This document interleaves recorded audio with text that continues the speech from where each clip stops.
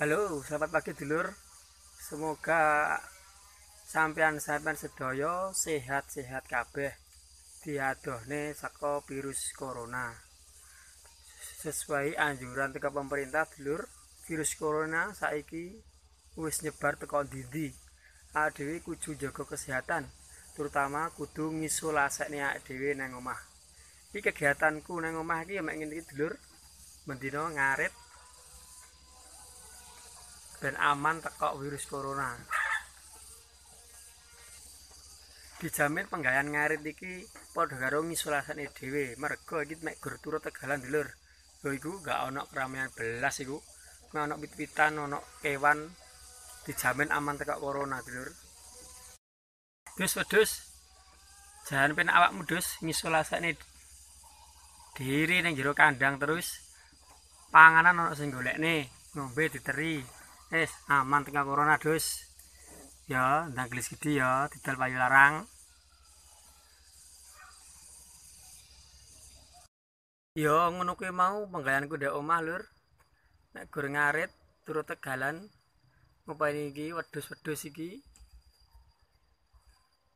Pesen gawe dulur-dulur kabeh, muga kabeh diparingi seger waras, dihindarno teka virus corona.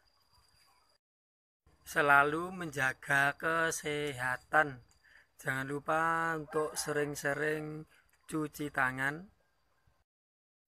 Banyak minum air putih dan istirahat yang cukup untuk meningkatkan imun kita agar terhindar dari virus-virus corona. Eh.